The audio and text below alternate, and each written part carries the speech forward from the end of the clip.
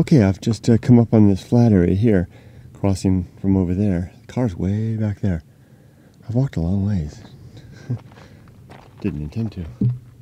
But hey, that's how it goes sometimes. Look at this. Very interesting flat area. Really out in the lava fields now. I just keep promising myself I'm going to go one ridge further. Just keep on going. Hard to walk, especially in these cheap boots that keep falling apart. I have to keep applying the shoe glue to hold them together. That's what I get for buying the cheapest hiking boots I could find. Famous footwear.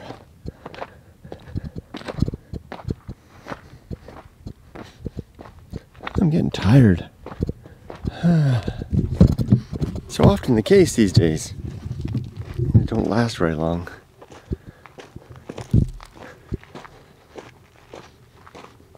Hey, but I'm still out doing it while it's lasting.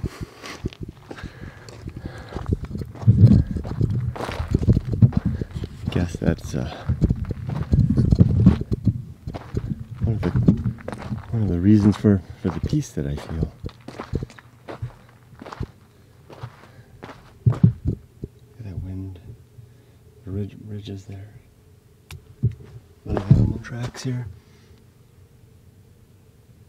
More over there. This is interesting.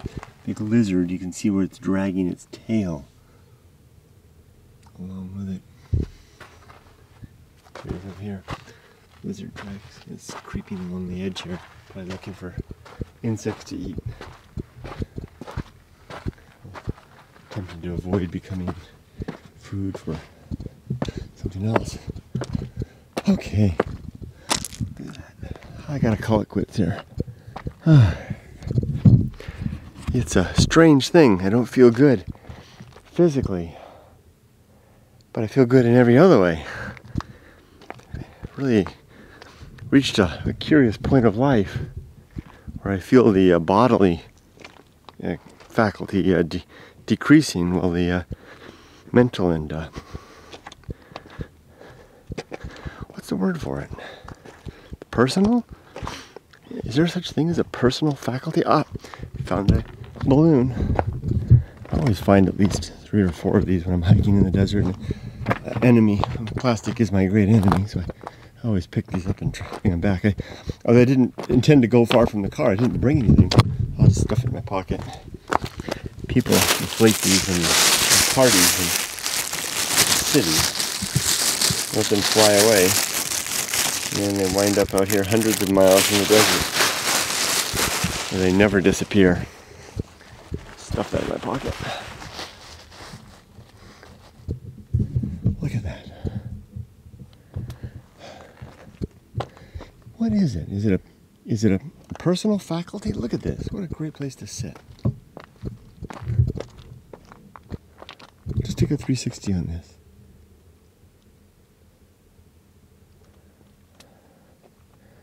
I think you get a little mixed up in this area.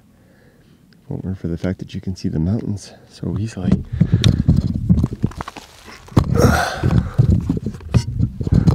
wonder if I can make that stand there.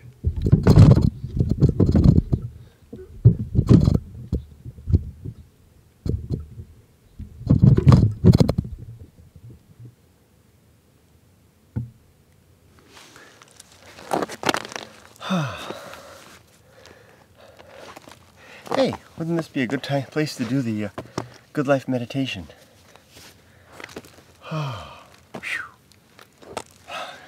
Gotta do it while the uh, energy and faculty are there. I like that word faculty. Not the, you know, stu- student body faculty or anything like that, but the concept of the ability. And I've got pricklies in my hair.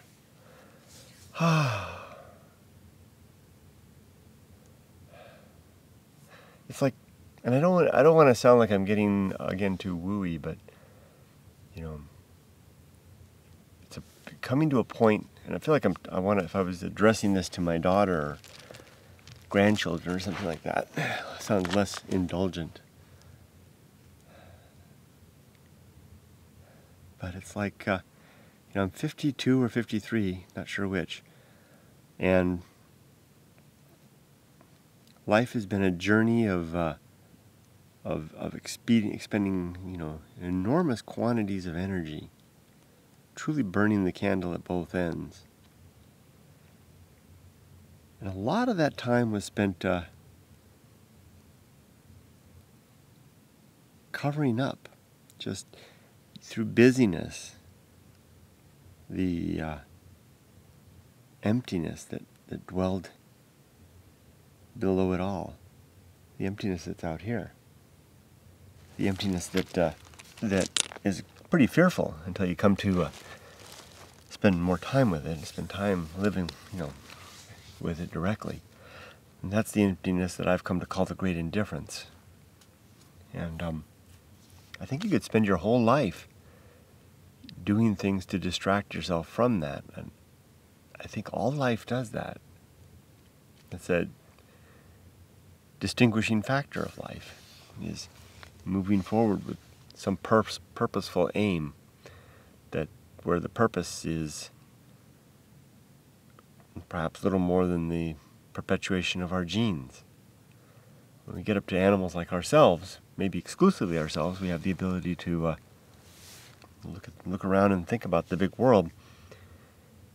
We recognize that there appears to be no meaning out there, so we uh, invent systems of meaning and teach them to our kids, reinforce them in our communities, codify them in our law, make them a part of our deepest culture. And in a way, we live our lives busily productive with a sense of meaning that is in opposition or in spite of the uh, emptiness that's out there. That hasn't been the way that I've wanted to go, that, that I wound up going. I, I started down that road, and I, and I wound up giving that up. Now, that doesn't mean I'm not a member of my society and that I don't abide my society's customs and laws. I do, and I do enjoy them, and I do the, I do appreciate the distraction they give. Coming to places like this alone, especially at night, is a fearful thing for me.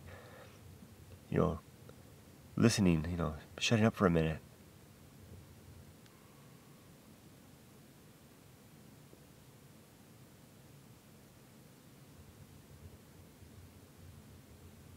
and opening my eyes to all this. It almost makes me want to run in a way. I guess if you had a code, if you had a system that you could lay on top of this, this indifference out here, if you had a system, then you could say, "Wow, this is just evidence of that system. This is, this is a, you know, realization of that grandeur." But if you don't have that, then all you're left with is this. So,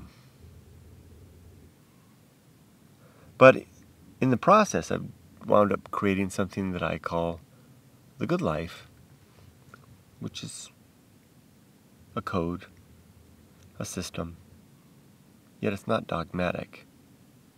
It's evidenced through personal effort rather than uh, teaching. And that's changed things for me. It's uh, it's not that I was unhappy or anything before. It was that I, I was too distracted to even think about it. But now things are more deliberate. That's the right. That's a good word for it. Life is deliberate. Life is more deliberate, and more enjoyable, and more meaningful, with a purpose that I've created for myself which is the purpose of virtue, to live a virtuous life according to the code that I developed, which are the seven principles, towards the ends that I prescribe for myself, which are the three objectives, and in recognition of the uh, overarching responsibility to have uh, to respect the rights of the individual. So let's go through it.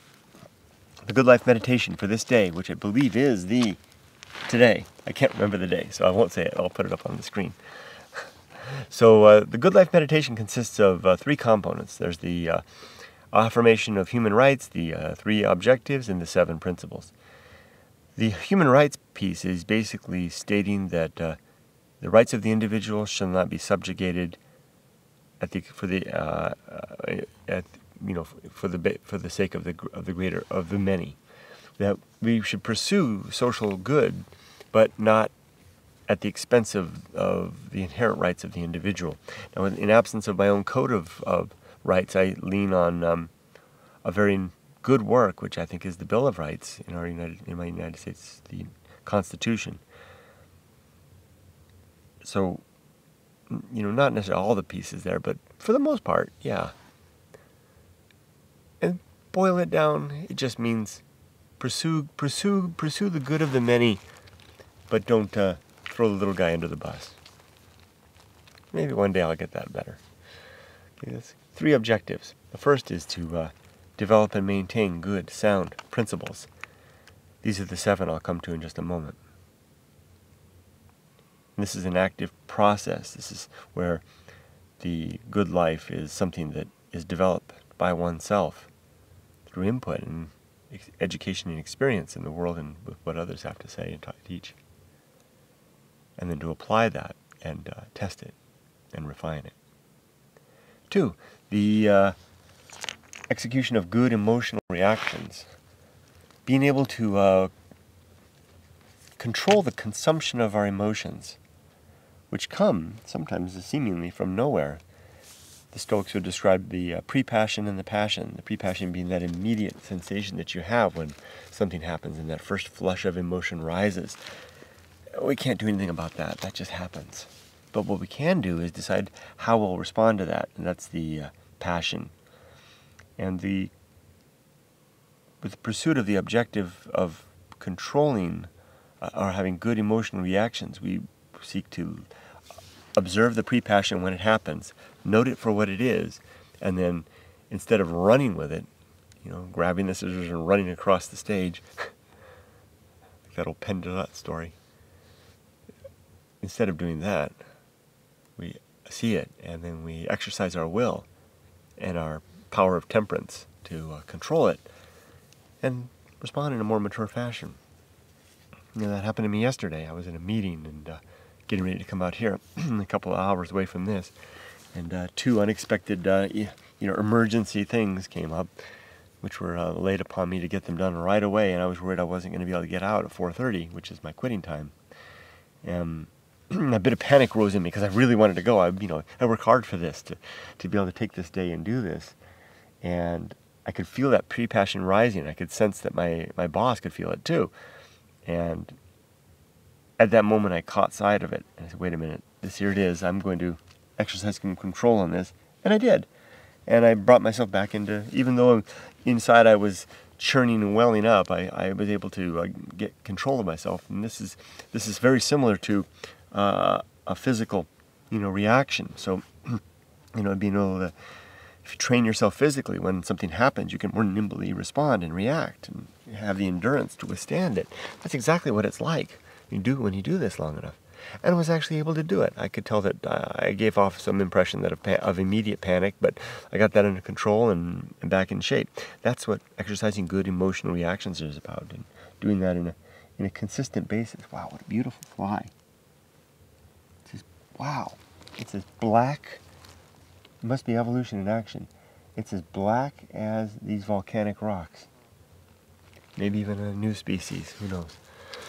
So three, the uh, performance of good, for third objective is the performance of good actions in life. Just do good things. You know, pick up a mylar balloon you find laying in the desert. Hold the door open for someone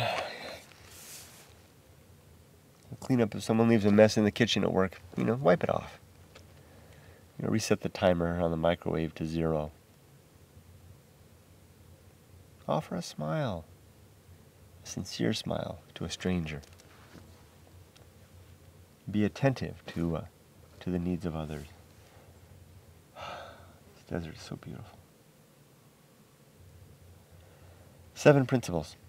Principle number one is the uh, principle of of the atomic principle, which simply states that everything in the universe is made of bits and pieces.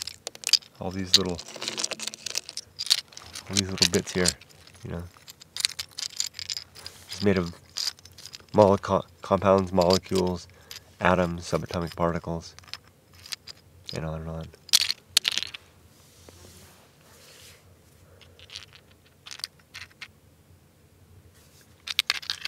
It's just flowing and changing and dissolving and disintegrating. Likewise, you and me. It won't be much longer. Be uh, like uh, this dust. Maybe never again to be organic compounds again, you know, substance probably though, cycling around. That recognition that everything is made of bits and pieces that are changing. What was yesterday is something else today, and again something else tomorrow, is uh, helpful in keeping us, uh, our minds, current with the immediacy of the moment and cognizant of the changing uh, nature of things. Two, the uh, principle of nature. Principle of nature simply describes that everything in the universe has a particular nature. You know, this volcanic stone is uh, dark and solid, impervious to uh, to most stresses. You know, maybe maybe water can maybe a little bit porous given its the holes. It's not sentient. It Doesn't grow. It doesn't live It dissolves eventually to nothing. Principle of the sidewinder snake that I saw the tracks back there for are it, it's born, it grows, it feeds, it reproduces, it slithers in its slither in its strange sidewindery way. You know. These plants over here, they're tough and resilient to this so harsh desert environment. They grow, they're rooted, photosynthesize, reproduce.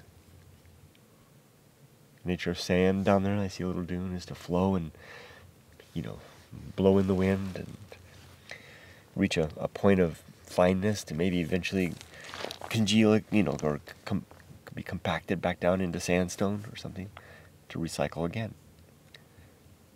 The nature of uh, me is to be born, to grow, to learn, to live, to marry, to reproduce, be a father and a husband and a, a co-worker, maybe even a friend to some.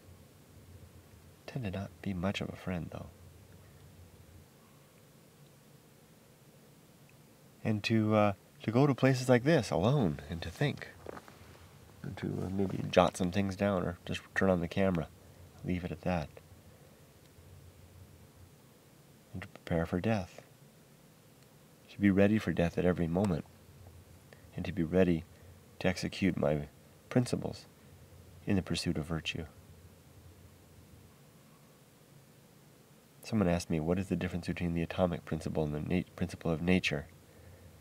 The atomic principle speaks to the composition of things. The principle of nature speaks to their utility, disposition, their their function. It's the difference between what it is and what it does, or what it what it uh, exudes. if it if it, if it exudes some some uh, being, mainly living things. The uh, third is the social principle. Sorry if I'm getting so meditative. I'm just drifting away in this place. And the heat is rising. This is really why I think, uh, you know, people come, you know, especially the, the mystics and the like, would come to lonely places like this, desolate places like this. It does something to you. And you have to come alone to do it. And you have to push through the difficulty. Temper, you have to use to exercise temperance to get through the fear, to get out to places like this alone. So the social principle. Human beings are social animals. We need one another. And our best ends are social ends. We do live well when we're working towards the benefit of one another.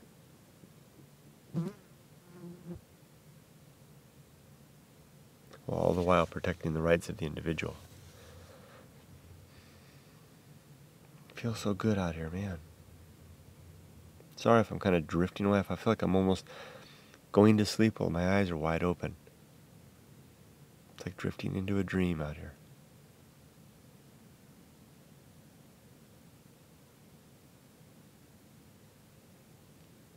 Such silence. Four.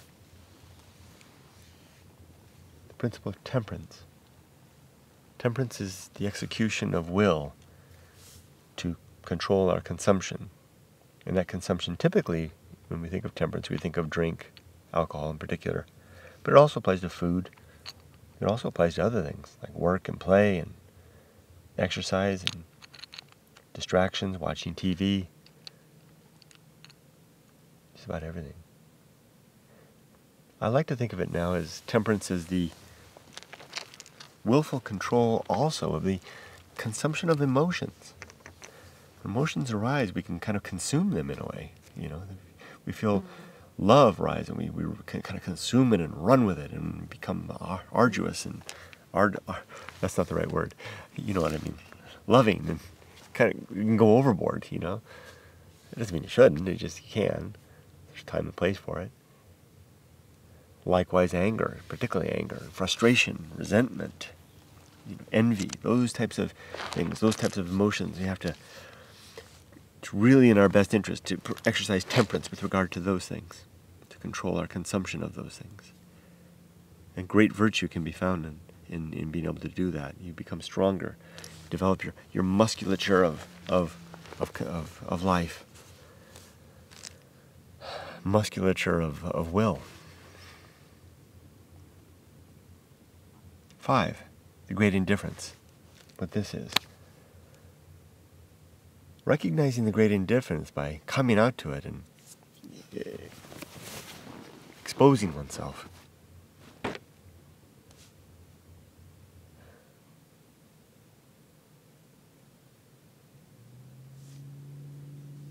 Listening and being able to soak it up and then to recognize that it doesn't appear that there's anything out there other than what we uh, uh, ascribe to it. You know, if we want to believe that there's deity out there, then we, we can say so.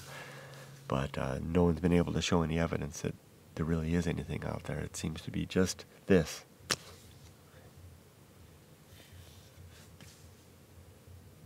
What that means is that we're alone. But there's good news, we have each other and we have our ability to form communities and be partners and friends and lovers and uh, companions to build things out of that and to develop meaning from that. The great indifference is a is a reminder of uh, our obligation and responsibility to develop our own good principles to ratify those through our our the execution of reason and the examination of reality by forecasting what we what might happen based on what we know. And if it doesn't happen that way, then re-examining our, our, our assumptions and our, our forecasting capabilities and our ideas. Great indifference is basically uh, it's nothing more than cutting ourselves loose from uh, from parenthood uh, to be uh, to be fully mature and grown adults on our own with one another. And these flies. Five, uh, six, reason, the governing faculty, the force by which we uh, come to understand the world. We look at the world, we, we see the facts, we make sense of it, we make models to predict what happens, explain what happens, and then refine those through observation and improve our understanding of the world. Reason is the governing faculty.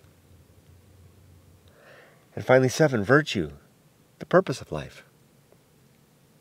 Virtue is uh, as I define it, the improvement of well being, while respecting the rights of the individual. Well being is easily uh, figured out, you know, we, something we can all agree on. You know, things are like clean water, good, affordable education, good, affordable health care, the protection of our natural environments, cultivation of uh, improved communication between the sexes, between cultures, between uh, nations, between species, perhaps. all of these things and more. When we recognize what they are and we agree to follow those and pursue those, then we're on the path to virtue, which is the improvement of well being. All while respecting the rights of the individual. So, there then is the good life.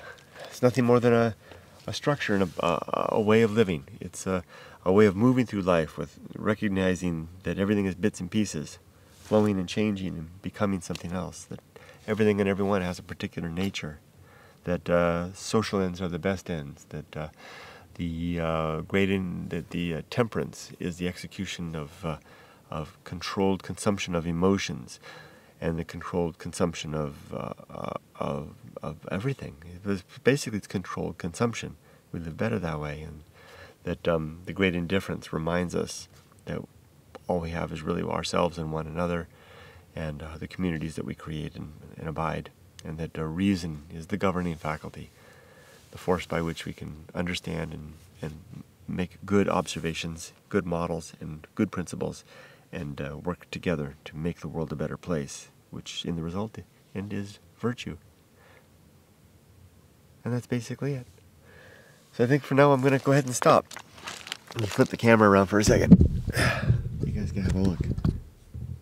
Such a landscape. Such a place. Such wildness. Have a great life.